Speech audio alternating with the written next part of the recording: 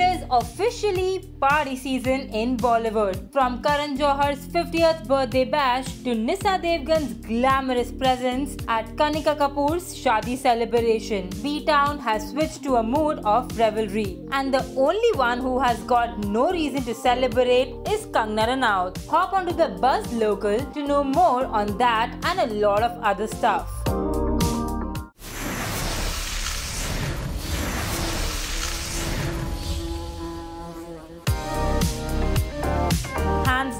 Karan Johar throws the best parties in B-Town and when it comes to his own 50th birthday bash, the filmmaker is going all black and bling. For his Golden Jubilee, a special filmy set is being erected, renowned chefs will be dishing out exquisite delicacies and who's who of Bollywood is on the guest list. We would give an arm and leg to be a fly on the wall at this bash. It cannot get more lavish than this and we've trained all bees to get you all the inside deeds from Karan Johar's Fancy Do talk about parties and we've got our hands on pictures from Suhana Khan's birthday bash in Ooty. She celebrated her 22nd birthday in a picturesque setting in the company of her Archies gang. From fancy flowers to breezy balloons and a scrumptious looking cake, Suhana had a dreamy bash.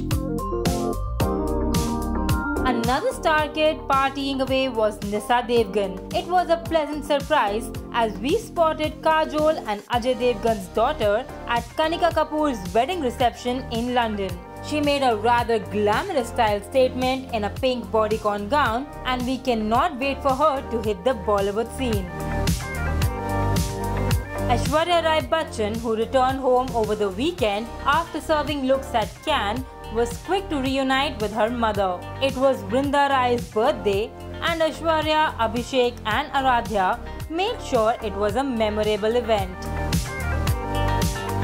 And finally, the only one upset in B-Town this week would be Kangana Ranaut. Her much anticipated entertainer has tanked at the box office, leaving no glimmer of survival. Struggling to reach even rupees 2 crore, our bees have been informed that shows of Dhaakad are being cancelled with Bhool Bhulaiyaa 2 dominating the scene.